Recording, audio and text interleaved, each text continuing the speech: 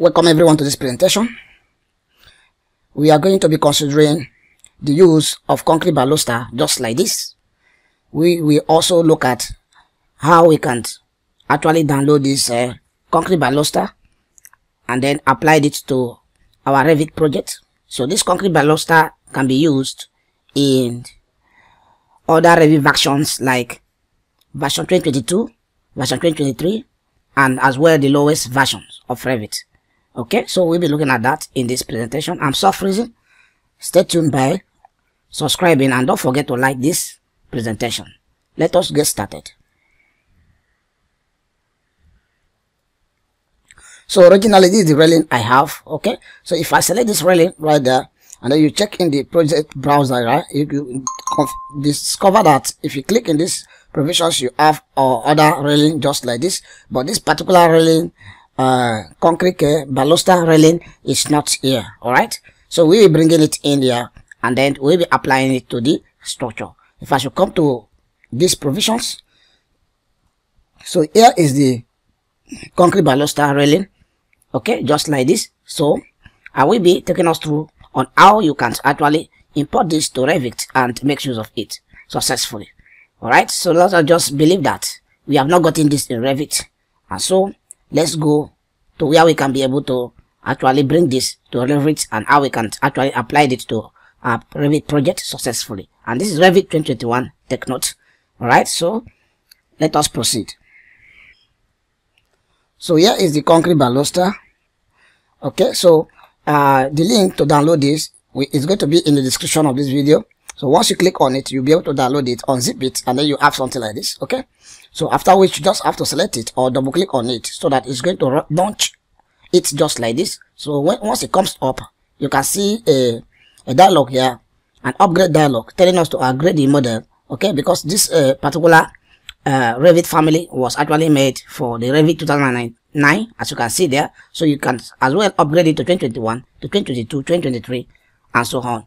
Alright, so you click on the upgrade. So once you click on the upgrade once, you have this uh, model upgrade dialog so you have to wait until the upgrade is successful. So once the upgrade is successful you now have it like this the way you see now.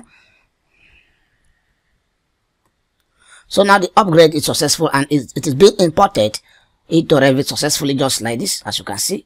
All right let me just change the change the graphic display to construction color so you can now see it just like this just the way you are seeing it here all right so at this point now we want to be taking it to the project and then I will show us how you can apply this successfully. But just as I've said earlier, if uh, you want to get this download, there's a link in the description of the video. You can download it. It is free. All right. You can get it free of charge. All right. Through the link in the description of this video. So for me to now apply this now to this project that is already having this uh, normal uh, uh, Revit railing here. Okay. I want to change this to the you know concrete baluster railing all right so i will come back over to these provisions. And then i want to pick any of these. You can if you check very well you notice that designs differs all right the designs differs. This one is different different from this in terms of the designs okay? But they look somehow alike. So if i intend to use this one well right for my railing i will just get it alighted just like this right click or getting it alighted i come over to these provisions and then i'll select copy there so after which i open the project uh, you know in which i want to apply the railing and then i'll have to paste it here all right so i click on paste over here and then i'll pick up positions or insertion points to place it just like this. So after it's been placed like this the next thing you need to do is uh, you type ma for match property on the keyboard or you come over here to where you have this match property. Click on it once and then you can now be able to select this. So once you get this one selected just select this railing and you see it change you know, just like this okay? It's been changed. The same thing applicable to this all right so if you want to also apply it to this one you click on that to have the you know baluster railing you know concrete baluster railing apply successfully to your project just like this all right so this is how you can actually use concrete baluster railing on your project successfully. You can download it through the link in the description of the video. Don't forget to like and subscribe. Stay tuned for more advanced lessons of this kind. I'm Soft Reason.